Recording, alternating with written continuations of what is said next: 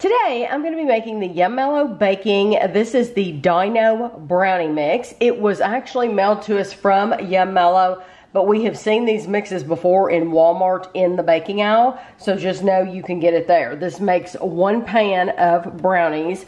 Uh, what you need is uh, one egg and a half cup of oil and a half cup of water. And then in here, we're gonna have other couple of other things I'll show to you. You want to preheat your oven to 350 degrees. This is your brownie mix. And then this is your sprinkles. And so we're not gonna need the sprinkles right now. We're gonna set these to the side. But you can actually see if you look close, they have little dinosaurs and uh, in there.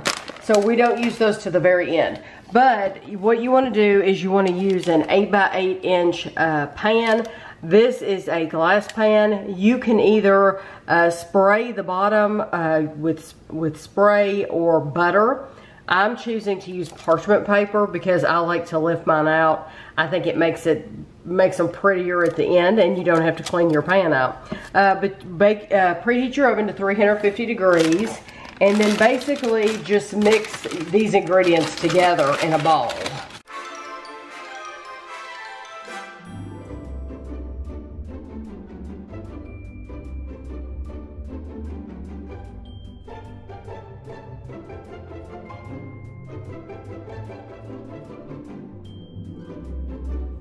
Take this mixture and pour it into your pan.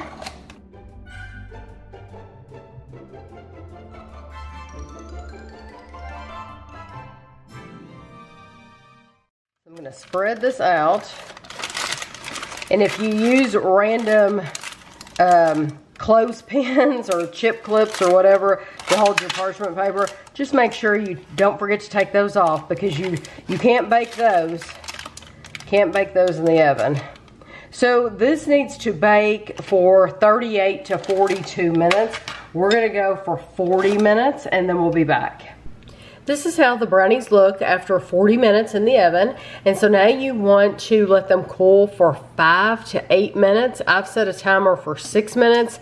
And then we're gonna add our uh, dinosaur sprinkles to the top. So my timer just went off. So now you want to take the sprinkles and put them over the top of the brownies. And I don't know why they wanted you to wait. Um, wait for uh, a certain amount of time before you added these because it seems like they would want um, them to stick to the brownies, but they didn't. This is what they said. So now you just leave them here and you wait until they cool completely. Okay, these have been sitting. They are still a little bit warm, I'll tell you that right now. And this is why I like using parchment paper because now my pan's clean. I clean can pan. just put it back up. And these the edges are really nice. Okay, believe it or not, it says you're supposed to get 24, uh, 24 brownies out of here. Uh, that ain't happening, so I'm just gonna cut them the way I would normally cut them and um, it is what it is because you're not going to get 24. I think that's that's a bit much. But these are small. They're small, but but I think they'll be good pieces. Sprinkles are kind of mess. They are, yeah, and that's that's another good thing about having the parchment paper is uh, it catches all that. It catches these sprinkles, where if you were taking it out of that pan, uh, it would probably be a disaster. So this is what it looks like. Look at that. That looks really nice. It does say there are 24, serving size 24. 1 24th, 28 grams. As packaged is 120 calories. As prepared is 170 calories. Now, um, if you want your sprinkles to stick better, then you would need to buy your own icing. And it even says on here, uh, for fudge ice brownies, allow to cool for 15 minutes, then add icing. But they don't give you the icing. So I think it would be awesome if, if they, they, gave you a little, little package of ice. Just but, enough to spread over the top to let mm -hmm. things mm-hmm. stick. Yeah, just yeah, because they wouldn't have to give you very much at all in order to accomplish that. But I think that would be uh, really nice if they would do that. Uh, these are distributed by TG Foods in Chicago, Illinois. Yummallo.com. Okay, and Well, the, I, oh, I can tell you the sprinkles all fall off. Kevin, you're gonna make a mess. Look at you. The only thing that makes this dinosaur is that one little uh, Green sprinkle? that one little green sprinkle that is the shape of a dinosaur. That's what makes these dinosaurs. Just so you know.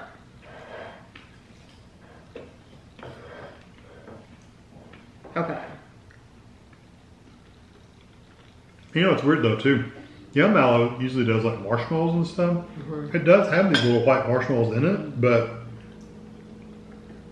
That is a good brownie. You wouldn't think that would be like Yummallo would have more marshmallow in it. You know? And you know what? I really like the um, I like the sprinkles because it gives it all kinds of crunchiness to it. Mm. I'd rather just have the brownie. Mm-mm. Not me. It's a good brownie. It's a it's a darker chocolate brownie, but it's very since ours is still a little bit warm, it's still a little goopy, Mm-hmm. um, which I like. I do too. I love chocolate flavor. I love that it's warm. Mhm. I love that it's gooey. It baked perfectly. So on the outside, you know, you had that firm top, but then on the inside, it's it's almost underdone. It's not, but it's almost underdone, like a ooey gooey cookie. I'm surprised. Now I was telling Tami this before. I'm surprised they didn't have me mix the sprinkles in with the brownie. No. They don't. I read the directions twice. Tami's read them twice. Yeah. Mm-hmm. Um, it literally says sprinkle over the top. Um, But surprisingly, they don't have you put them in the middle. They get that kind of going all through it, Mm -hmm. but they don't. Just on top. But if you're wondering if you've seen these and you're like, is that an actually, is it a good tasting brownie? Yes, it is. Yep. I really do like this. I, I think it's very, very sweet. It's not too dark. I think kids are gonna love it.